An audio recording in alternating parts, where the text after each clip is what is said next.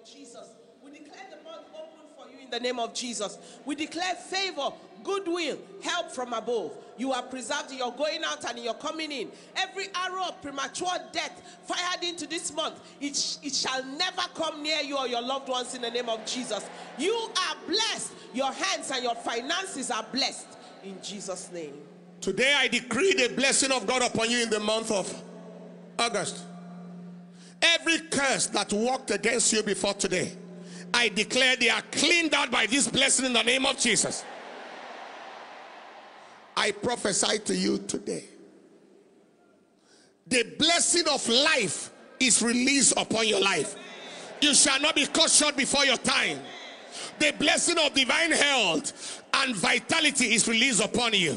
Every trace of disease and death in your body be swallowed up by the blood of Jesus. In the name of Jesus, I speak the blessing of supernatural supply. Every demon of scarcity and empty handedness and poverty be cleared out of your life right now. In the name of Jesus, I speak the blessing of liberty. Every chain and every bondage on your life is broken right now. In the name of Jesus, I speak the blessing of peace. Everyone currently in any trace or form of crisis and battle, I declare the battle is over. I speak the blessing of divine direction. Everyone in the midst of confusion, the confusion gives way for direction. Anywhere you need direction from God, it is released right now. I speak the opening up of your destiny today in the name of Jesus.